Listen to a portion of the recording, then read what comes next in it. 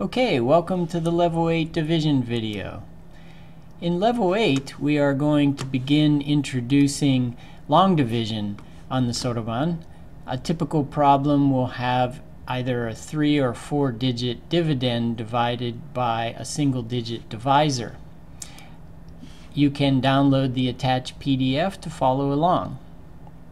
Alright, let's take a look at a first example. And in this first example, we have 280 divided by 8.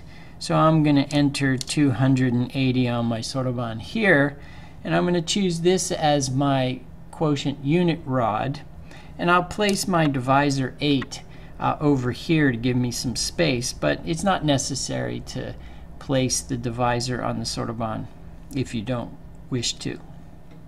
Okay, since I have three digits in my dividend, I'll count one, two, three on my quotient, so this is my starting rod of my quotient. But if we compare uh, the divisor to the first dividend digit 2, so 8 is larger than 2, so I can't divide 8 into 2, so I'll move one rod right and divide 8 into 28. And I will move one rod right as well on the quotient, so I will place my first quotient digit on the second rod.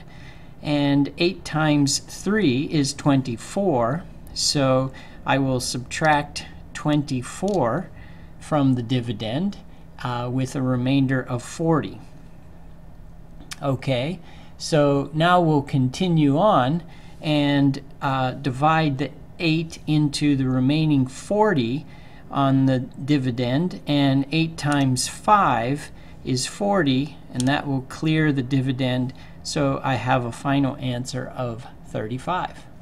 So as you can see uh, long division on the Soroban once you know your multiplication facts to 9 by 9 uh, is pretty straightforward. Okay, let's take a look at a second example.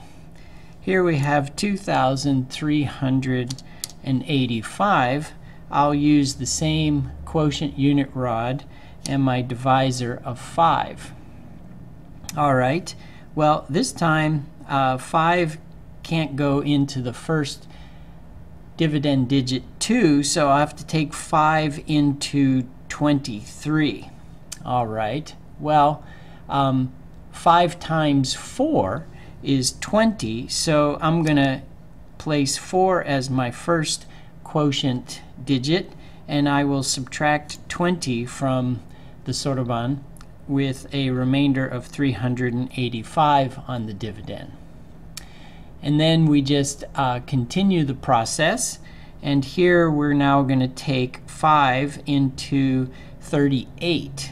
Okay, well we know that 5 times 7 is 35 so I'll subtract 35 uh, with a remainder of 35 um, on the dividend. And so I have two digits of my quotient answer.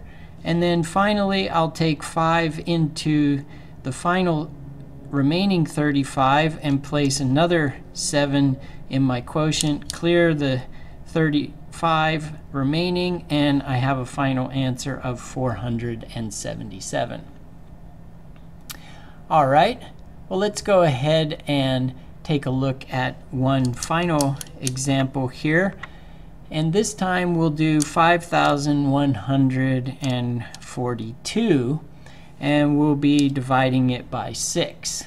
Okay, well, the first thing we need to do is compare the 6 to the 5. So uh, 6 is larger than 5, so we'll take 6 into 51. All right, well, um, 6 times 8 is 48, so I'll subtract the 48 from uh, the 51 with a remainder of 342 on the dividend.